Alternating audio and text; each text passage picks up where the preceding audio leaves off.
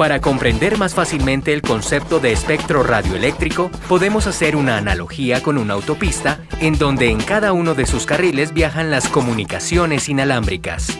Es función de la ANE atribuir, planear, gestionar, vigilar y controlar esta autopista para que se haga un uso eficiente y de impacto social en el mediano y largo plazo en beneficio de todos los colombianos.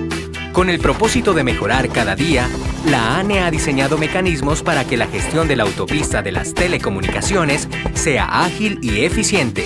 Para esto, la Agencia Nacional del Espectro introduce una nueva herramienta llamada Consulta de Espectro en línea. Para acceder, visita la página de la ANE www.ane.gov.co y busca en la sección de portales de la ANE el icono Consulta de Espectro en línea.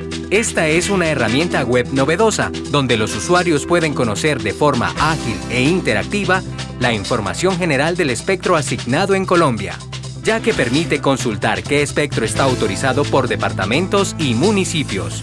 El resultado se muestra a través de un listado que se puede visualizar en el mapa de Colombia.